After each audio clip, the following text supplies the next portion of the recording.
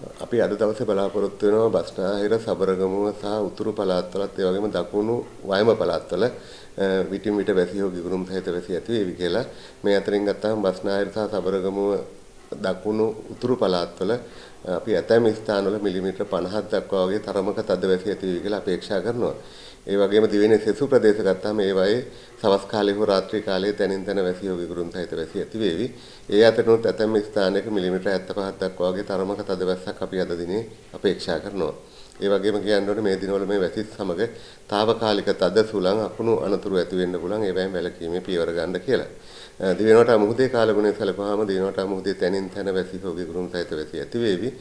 සුළං හමන්නේ නිර්ත දිශාවෙන් වේගය සාමාන්‍යයෙන් පැයට කිලෝමීටර 25ක් 35ක් අතර වගේ වේවි. නමුත් හම්බන්තොට සිට පොතුවිල් දක්වා වන වෙරළ රොබ්බෙන් වන මුහුදු ප්‍රදේශවල මෙම සුළඟේ වේගය විටින් විට පැයට කිලෝමීටර 40ක් 45ක් දක්වා වගේ වැඩි වෙන්න පුළුවන්.